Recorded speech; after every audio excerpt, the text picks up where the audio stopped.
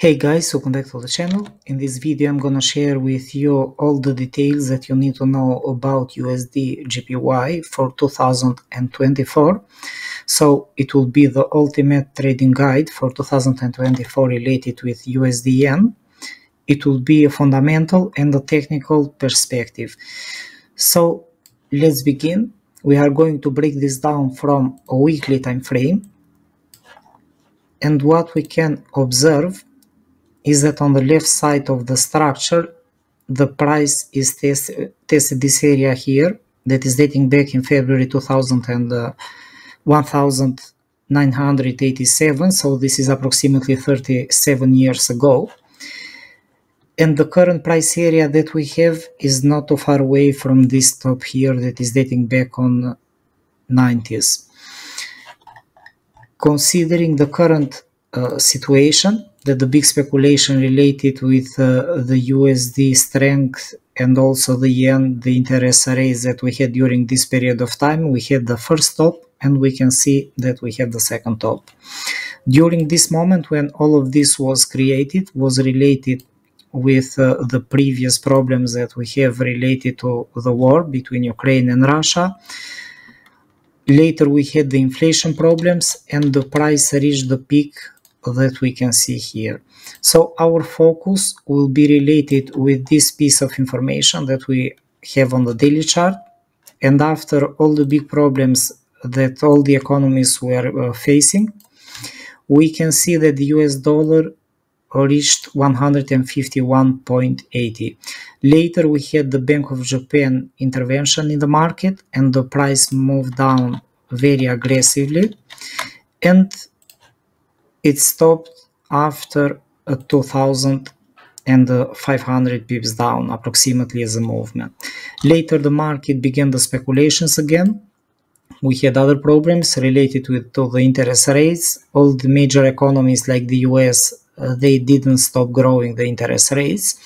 And we can see all this movement happening. We had also the speculation related with the Bank of Japan because they didn't increase interest rates at all. They said several times that we are going to increase interest rates, we are going to intervene in the market, we are going to change the yield curve control. But since when the price was uh, at this point at uh, 128 at the beginning of January 2023, it was this point here they didn't take further actions at all and this created also this movement and pushed USD yen back up to the top as you can see.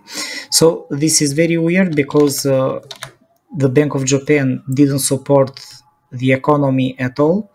All the other major economies increased the interest rates in order to fight inflation. On the other hand Bank of Japan said that we are going to take further steps but so far nothing happened so uh, so far this is only a normal release of liquidity. It is normal that at a specific point of time the market is going to release liquidity because it was in oversold conditions. It was very important uh, moment.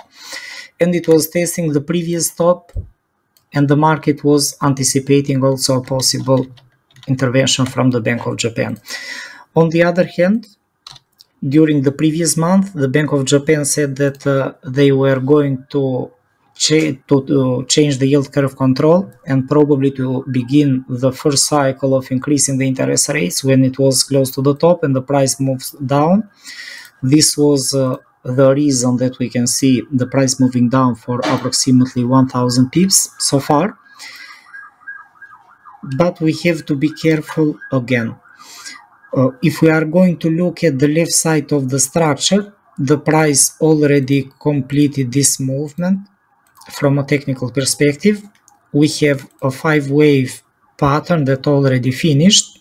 We can see this as a 1, 2, 3, 4, 5 wave or WXYZ, it doesn't matter at all. However, considering that uh, the bigger picture should correct down, it makes more sense that we can be in this situation.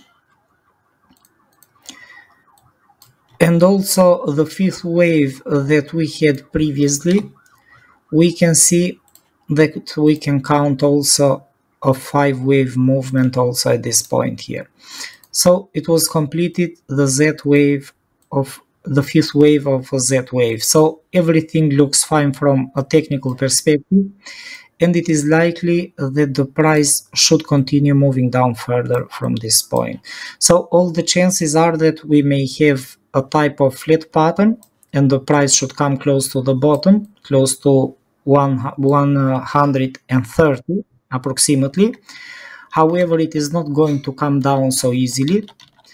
After this five wave movement that we had, the chances are that we may have an ABC movement as a beginning or probably we may have a five wave movement as it happened on the left side of the structure. So this is a possible scenario uh, that can happen also in the current conditions. If we are going to break this down on a lower time frame, on a 4 hour time frame, USD yen, we can see that we have this pattern that is taking another shape. So we have this type of broadening wedge pattern and it is likely that the price may bounce again. So the reasons that we may see this movement is because during the previous week we had the Bank of Japan. The market was uh, expecting probably further actions from them they didn't change the interest rates as it was widely expected, but on the other hand, they didn't share anything new. So they are still speculating with the fact that we are observing the the forex market very closely, but so far nothing is happening, and this is a strong reason that they are not going to do anything at all. They, they are still speculating that probably on the first quarter of 2024, probably they may increase the interest rates. I'm really pessimistic about the topic, uh, to be honest, related with USD yen. I don't know if the Bank of Japan is going to take those uh, these actions because they uh, they are big liars. They are not consistent in what they are doing and in what they are commenting during the press conferences. And this is a strong reason uh, that we may see the USD to bounce above this pattern and probably to test the top of the structure where it was at 151.80. We have to be careful. The movement that we can see so far that is moving down at this point I don't think that this is the beginning of a bearish movement. I would like to exclude this uh, bearish scenario for the moment. The problem is that the market is speculating that the Fed is going to uh, to cut the interest rates during 2024. It is normal that they didn't share many comments. However, we have to be careful because they didn't say that we are going to uh, to cut the interest rates for 2024 or uh, furthermore on the first quarter or the second quarter. And this is very important. And it is likely that uh, after this speculation and during the beginning of the new year, we may see USD to bounce above this structure area and it can come close to the top. However, even if this is going to happen, if we are going to look at the bigger picture, I'm not expecting the price to break through the top. So the maximum that it can reach can be the top here. In the normal conditions that I'm looking at, so this is the maximum scenario that I'm looking at for USD yen. And the normal scenario that may happen regarding USD yen is that we may see the price to create a type of ABC pattern. It can stop somewhere close to the middle zone and later it can move down in this way. We can be in an ABC or in a possible, let's say, W, X, Y, X, Z, it doesn't matter. But what it matters at this moment is that we have to focus on the beginning of the bearish movement that we are expecting.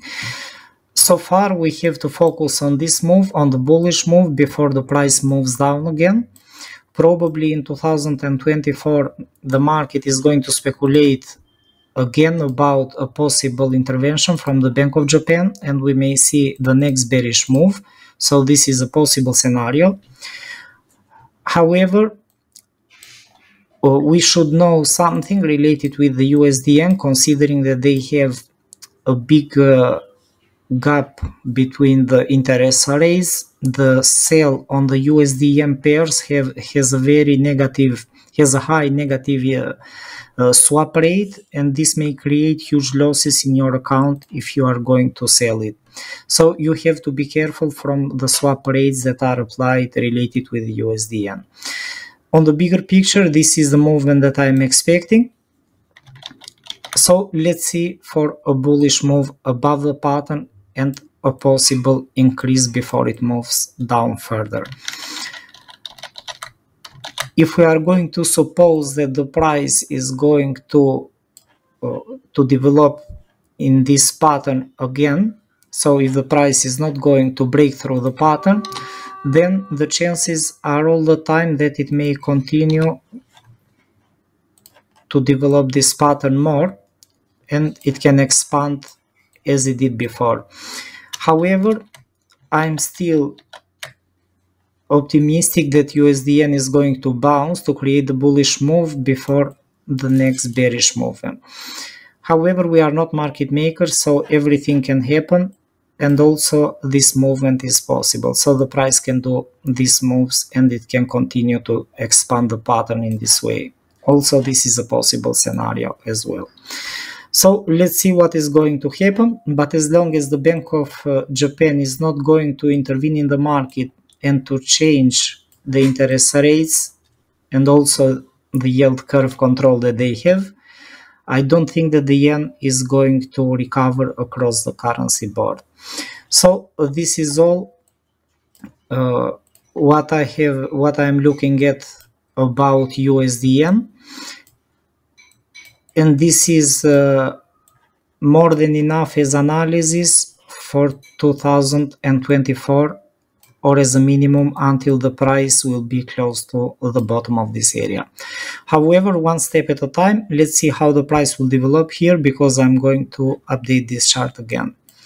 I hope you guys enjoyed the analysis.